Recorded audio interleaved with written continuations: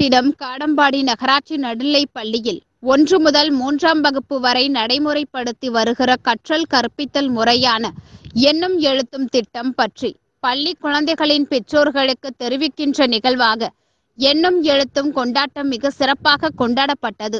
ஒன்று முதல் மூன்றாம் வகுப்பு வரை பயிலுகின்ற குழந்தைகளின் பெற்றோர்கள் பள்ளிக்கு வருகை தந்து எண்ணும் எழுத்தும் திட்டம் பற்றியும் அதில் தங்களுடைய குழந்தைகள் எவ்வாறு பாடம் கற்கின்றனர் அவருடைய திறமைகளை எப்படி வெளிப்படுத்துகின்றனர் என்பதை பார்த்து கேட்டு மகிழ்ந்தனர்.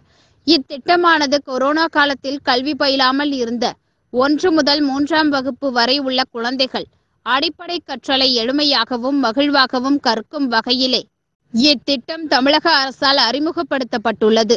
வரும் கல்வியாண்டில் திட்டமானது நான்கு ஐந்தாம் வகுப்பு மாணவர்களுக்கும் விரிவாக்கப்பட உள்ளதாக நிதிநிலை அறிக்கையில் தெரிவிக்கப்பட்டுள்ளது.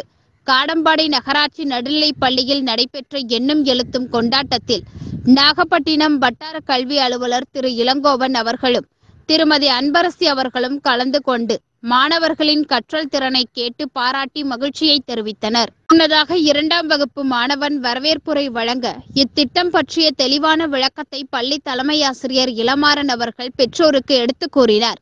பெற்றோர்கள் அனைவரும் தங்கள் குழந்தைகளின் திறமைகளை கண்டு வியந்து பள்ளி ஆசிரிய பெருமக்கள் இந்நிகழ்ச்சியை மிக சிறப்பாக ஏற்பாடு செய்து தங்களிடம் பயிலும் குழந்தைகள் திறமைகளை வெளிப்படுத்த உற்சாகப்படுத்தி. பின்னர் வந்திருந்த பெற்றோர்கள் அனைவரும் தங்கள் குழந்தைகளுடன் அங்கு காட்சிப்படுத்தப்பட்ட கற்றல் உபகரணங்களுடன் செல்ஃபி எடுத்தும் திட்டம் பற்றி வைக்கப்பட்டிருந்த பேனரில் கையொப்பம் இட்டு மகிழ்ந்தனர்.